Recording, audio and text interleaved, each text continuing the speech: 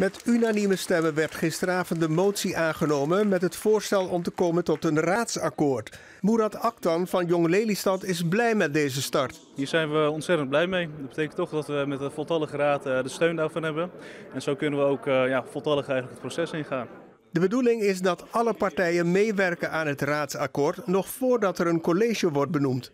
Fractievoorzitter Sanne de Wilde van D66 is ook blij met de nieuwe aanpak, maar hij vroeg zich wel af of dat niet te lang gaat duren. We gaan met uh, 14 partijen gaan we in gesprek. We willen ook nog dat de deelnemers uh, participeren, stakeholders, uh, dat soort dingen. We input uit de stad ophalen.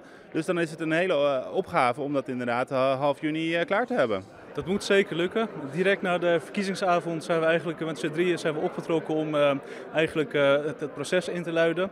De afgelopen weken hebben we vrij intensief met elkaar gesproken om uh, tot het proces te komen en eigenlijk het een en ander af te tikken.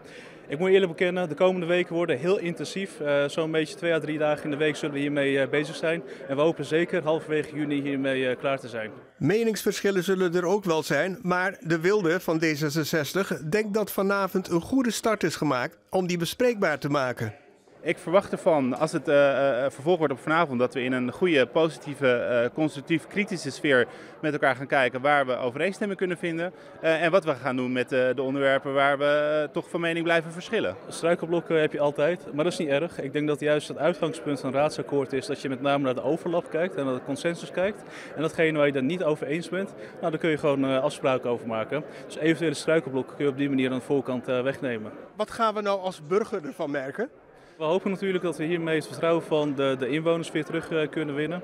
Daarbij is het onder andere belangrijk bij dit nieuwe raadsakkoord dat we eigenlijk dichter bij de burger komen te zitten.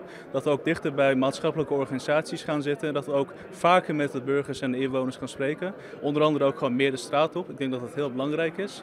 En uh, we hopen dat we hiermee ook gewoon een nieuwe bestuurscultuur in de stad kunnen realiseren. Waarbij je eigenlijk minder te maken hebt tussen oppositie en uh, coalitie. Want we hebben toch al gemerkt dat dat wel een van de redenen is waardoor het vertrouwen een beetje eigenlijk verminderd is in de politiek in de stad. Ja.